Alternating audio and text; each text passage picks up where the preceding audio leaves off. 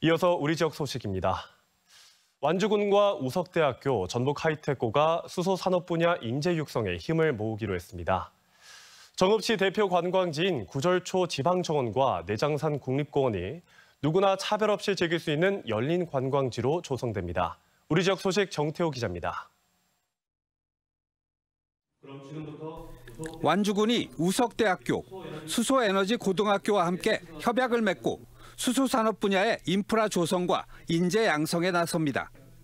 협약에 따라 각 기관은 완주 수소특과 국가산단 내 수소기업 100개 유치, 우석대학교 글로컬대학 30사업 선정 추진, 수소산업 분야 등 계약학과 개설, 학생의 취창업을 위한 공동 프로젝트 운영 등을 함께 추진합니다. 수소 분야 인재 육성을 통한 수소산업 경쟁력 확보와 지역 일자리 창출로 지역 발전을 견인하는 수소산업 생태계를 만들어 나가겠습니다. 정읍시가 문화체육관광부 주관 2025년 열린 관광지 공모 사업에 최종 선정돼 국비 5억 원을 확보했습니다. 정읍시는 구절주 지방정원에 무장애 보행로를 신설하고 장애인과 고령자 등의 이동 편의를 위한 저상버스 도입, 그리고 내장산 지구에는 음성 안내판 설치와 함께 조선 왕주실록 이안길 접근성을 높이는 탐방로를 개설합니다.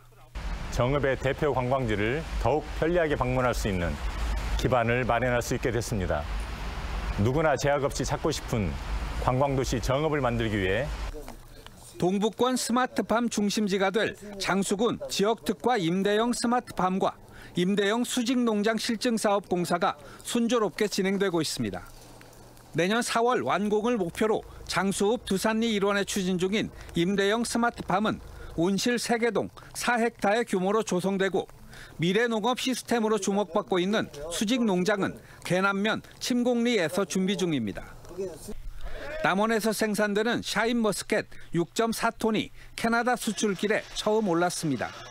남원의 샤인머스켓은 섬진강 부근의 평야지부터 해발 500m 지리산 고랭지에서 재배되고 있는데 높은 당도와 튼튼한 과육으로 국내는 물론 해외에서도 각광을 받고 있습니다.